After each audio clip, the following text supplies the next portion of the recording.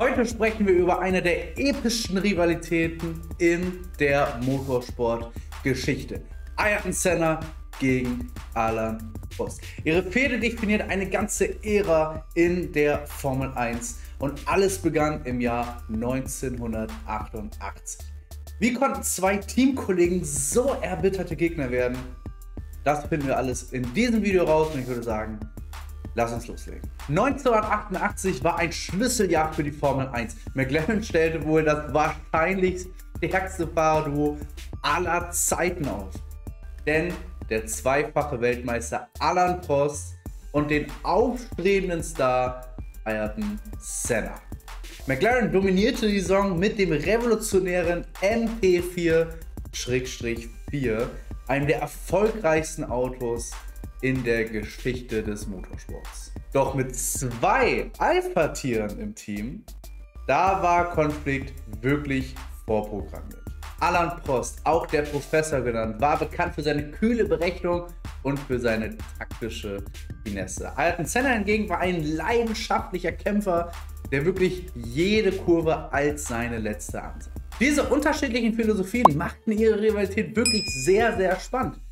Doch zunächst war es eine Rivalität auf Augenhöhe. Beiden hatte, hatten wirklich sehr, sehr viel Respekt vor. In der Saison 1988 lieferten sich Senna und Prost ein intensives Duell. McLaren gewann wirklich 15 von 16 Saisonrennen. Ja, eines konnte Ferrari gewinnen, wenigstens etwas. Aber es war eine beispiellose Dominanz. Doch der Kampf zwischen den beiden Teamkollegen wurde härter je näher das Saisonende dann rückte. Ein entscheidender Moment im Jahr 1988 kam ein großen Preis von Portugal. Alain Prost führt das Rennen an, doch Senna versuchte ihn auf der Zielgeraden mit einem riskanten Überholmanöver, ja, überholen. Alain Prost, der normalerweise nicht für aggressive Fahrweise bekannt war, der wehrte sich und die beiden kamen sich wirklich sehr, sehr gefährlich nah. Diese Szene markierte den Beginn des offenen Konflikts zwischen den beiden großen Stars. Alton Senna gewann schließlich die Meisterschaft 1988, indem er acht Rennen gewann, eines mehr als Alan Prost. Entscheidend war das Punktesystem in diesem Jahr, bei dem nur die besten elf Ergebnisse zählten.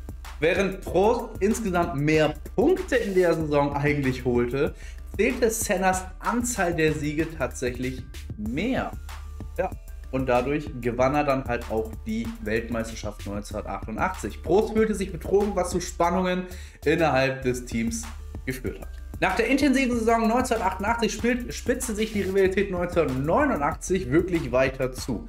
Prost fühlte sich von McLaren benachteiligt und war überzeugt davon, dass das Team Senna bevorzugte und tatsächlich auch das Auto eher in die Richtung von Ayrton Sennas Fahrstil dann gebaut hatte. Dies führte dann tatsächlich zu noch mehr Misstrauen von Alain Prost gegenüber seinem Team und tatsächlich auch zu einer wirklich offenen Feindschaft. Der Konflikt erreichte wirklich seinen Höhepunkt beim großen Preis von Japan im Jahr 1989. Beide Fahrer hatten noch realistische Chancen auf den Titel, doch Alain Prost wusste, dass er Senna irgendwie aushalten musste, um zu gewinnen. Beide waren wirklich sehr, sehr nah beieinander und Senna schien wirklich deutlich schneller zu sein. Ja, und dann kam es halt zu einem gewissen Vorfall. In einer wirklich berüchtigten Szene kollidierten die beiden in der vorletzten Kurve. Prost stieg aus, während Ayrton Senna weiterfuhr und das Rennen dann am Ende sogar noch gewann. Ja, nur er wurde später dann tatsächlich disqualifiziert weil er wohl abgekürzt haben soll. Also er soll die Strecke nicht normal gefahren worden sein, sondern er hat geradeaus weitergefahren, um halt weiterzufahren. Ja, dafür wurde er dann tatsächlich disqualifiziert. Alan Prost konnte dann den Titel holen, aber mittlerweile war es keine Feindschaft mehr oder eine irgendwie Rivalität. Nein, es war so weit, dass es halt wirklich schon richtig giftig wurde. Springen wir mal ein Jahr weiter und zwar ins Jahr 1990. Mittlerweile ist Alan Prost zu Ferrari gegangen, also jetzt ging die Rivalität nicht mehr teamintern, sondern halt auch, dass beide in anderen Teams waren, beziehungsweise Ayrton Senna war noch bei McLaren, nur Alan Prost hat das Team dann verlassen. Es kam wieder zum Showdown und zwar wieder in Japan zwischen den beiden Titanen. Diesmal war es Senna, der die Initiative tatsächlich im Jahr 1990 ergriff. In der ersten Kurve des Rennens, also nach dem Start quasi, rammte er Prost irgendwie fast absichtlich weg irgendwie. Könnte man so meinen. Also Senna hat versucht in der Kurve, in der ersten Kurve tatsächlich irgendwie reinzustechen, wo es eigentlich fast unmöglich war. Und dadurch kollidierten die beiden.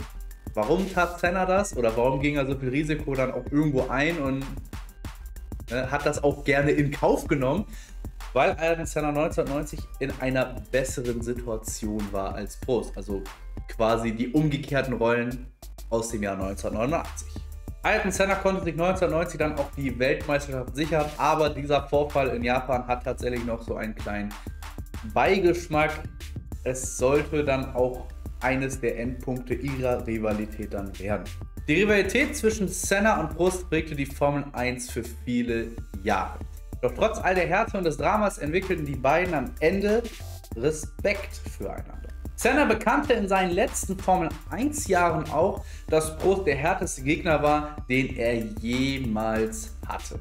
Nach Sennas tragischem Unfalltod im Jahr 1994 zeigte Prost sich tief betroffen und würdigte seinen alten Rivalen. Die Rivalität zwischen Ayrton Senna und Alain Prost bleibt eine der dramatischsten und faszinierendsten Geschichten der Formel 1. Zwei Männer, die sich gegenseitig zu Höchstleistungen antrieben und dabei eine Geschichte